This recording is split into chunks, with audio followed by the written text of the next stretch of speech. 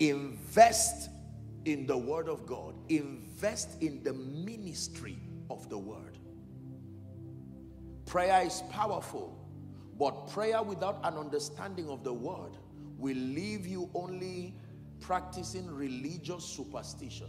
What gives power to prayer is the word compliancy of your prayer. Did you hear that? What gives power to prayer is that it is scripture based, word compliant, and consistent with the will of God. In fact, here's how the Bible puts it that this is the confidence that we have that when we ask anything in accordance to his will, we know that he heareth us.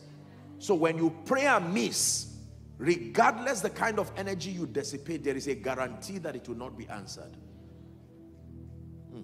Are we together?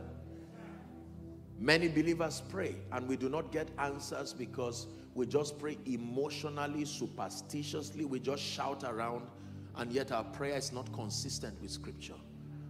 The modus operandi in this kingdom is the word. How things happen is by the word. God's method has always been his word. His method to lift, his word. His method to restore, his word. His method to bless, his word. The moment you ignore the word of God and try to get God's result, you are not a Christian again.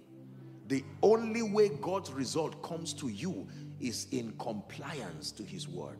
Now, the Bible essentially contains promises, principles, and prophecies.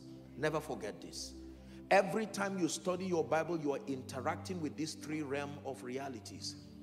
Principles, promises, God's commitment to you, principles, the modus operandi of the kingdom, prophecies, guiding you to navigate your path through life and destiny. Are we together? Did you get that? So when you open your Bible, you're interacting with promises. The Bible calls them exceeding great and precious promises. You're interacting with principles. The Bible calls them the mysteries of the kingdom. Matthew 13, 11 it has been given unto you to know the mysteries of the kingdom of heaven. And then you are interacting with prophecy. Most believers do not invest in the word. Listen, let me tell you this, ladies and gentlemen. You must obtain grace to study the word of God. Why do you need to study the word of God? Because it is important for you to know what God has said. That is the basis of your victory. Even Satan functions by knowing what God has said. He depends on what God has said to you to attack you. Go to the book of Genesis. When he came to man, his first interest was not to attack. What did God say? Because that becomes the basis for my attack. The way Satan fashions weapons is that the weapons have to be antichrist, anti-scripture. Are we together? He needs to know what God has told you. Okay, God has said you're going to become a great woman. That becomes the basis of his attack. God has said your third son will be a prophet. He will make sure you get barren at that third pregnancy. Satan only attacks with respect to the speakings of God's word. So if you see Satan coming around your vicinity, is proof he's aware that the word has reached you, even if you are not aware. His presence is confirmation that the word of God has come to you.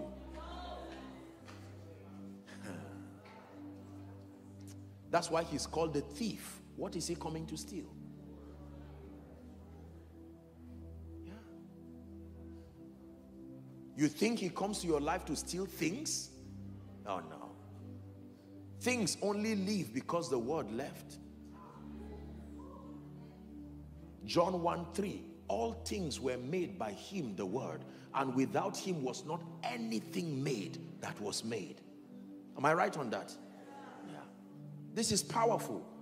That means if you give yourself to the study of scripture, Acts chapter 20 and verse 32, it says, And now, brethren, I commend you to God and to the word of his grace which is able to build you up, it says, and to give you an inheritance among them that are sanctified. You must damage spiritual ignorance from your life. Ephesians chapter 4 and verse 18, having their understanding darkened, being alienated from the life of God through the ignorance that is in them because of the blindness of their minds. You need knowledge. Say knowledge. Please shout it. Say knowledge. knowledge. Now, knowledge. That was the true light. Isaiah chapter 60 and verse 1 says, Arise, shine. Why? That is the only reason why you will arise. Because your light has come. Not because you are tired of staying in that state. Time does not change anything. It only reveals the consequences of your decisions. If you want things to change, you must bring light. John 1 5 and the light shineth in the darkness and the darkness comprehended it not. Let me quote isaiah 60 and verse 1 from amplified. Beautiful rendition. Here's what it says. Arise from the depression and the prostration that circumstances have kept you. Rise to a new light. Hmm. are we together? Now listen. The bible says in genesis chapter 1 the creation story that god called the light day and the darkness he called night. Walk with me. He called the light and the darkness he called one more time. He called the light and the darkness he called so in God's economy the day is not 6 a.m 12 a.m 3 a.m the day is not when the sun shines the day for you is when your light comes. Are we together? So you can chronologically, as we call it, you can be at noon and yet you are still in the night. And the Bible says with the night comes weeping. So when you want to end your night, you don't wait for the sun to rise. You bring light because it is only joy is connected with light connected with the morning. Are we learning now? He called the light day and the darkness he called night. So for many of us the sun as we know it and as we call it um, the layman's understanding rising and setting rising and setting. But in the realm of the spirit you've never really had day. It's always been night.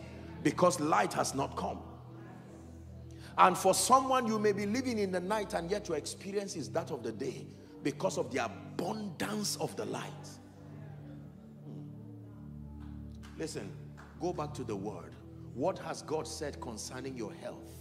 What has he said concerning your finances? What has he said concerning your influence? Are we together? The Bible says in Psalm 81 verse 5, they know not, neither will they understand. They walk on in darkness and all the foundations of the earth are out of course. Verse 6 says, I have said, ye are gods and all of you are children of the Most High. But verse 7 says, you shall die like mere men and fall like one of the princes. I made a covenant with my destiny years ago that I would not be ignorant of the word. I knew my life depended on it. I found your word and I did eat it. It became a joy and a rejoicing to my soul. Please invest in scripture. I cause the spirit of laziness spiritually. Are we together? Wake up in the night and open your Bible. There are three ways to maximize the ministry of the word. Number one, study it. Number two, confess it. Number three, listen to it. You have to study the word. Study to show yourself approved unto God, a workman that needed not to be ashamed, rightly dividing the word. Then listen to it. Faith comes by hearing get materials. And we, we, we live in an age where it is it is so easy. There's there's all kinds of devices. There are the speakings of jesus. Faith confessions on healing. Faith confessions on your destiny. All you need to do is go online and pick it up. You don't i mean they've saved you the, the, the labor of piecing them together. My phone is full of all kinds of scriptures. And sometimes while i'm praying i let it play I may not be conscious, but it's entering into my spirit. I'm not listening for awareness. I'm transporting it to my spirit.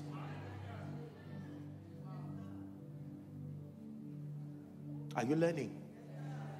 So you study scripture, you listen to scripture, and you speak. Don't miss the speaking part. You're not maximizing the ministry of the word if you are silent. Let the redeemed of the Lord let the healed of the Lord, let the blessed of the Lord, let the great by the Lord, let the children of the Lord, let the witnesses of the Lord. It matters that you say so. The righteousness that is of faith speaks. It is not silent. Say so. Say so. I am blessed. Say so. Anointed by the Spirit. Say so.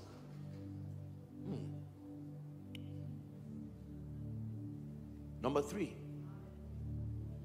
The third key to becoming mighty in the Spirit is that you must contend for spiritual empowerment.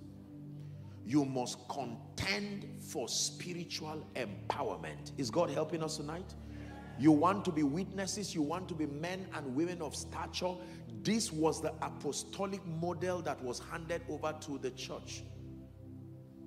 It is not something to alter, it is a pattern. It will not change. The ministry of prayer, in all its ramifications, the ministry of the word, studying the word, speaking the word, listening to the word to feed your spirit man, then now you come to the place of the anointing. Are we together? Acts chapter 10 and verse 38. How God anointed Jesus of Nazareth with the Holy Ghost and with power. And the Bible says he went about doing good. Someone say doing good. One more time, say doing good. It takes more than a kind heart to do good. It takes more than empathy and compassion to do good. You need to be anointed to do good. Doing good and healing all they that were oppressed of the devil. The Bible says, For God was with him.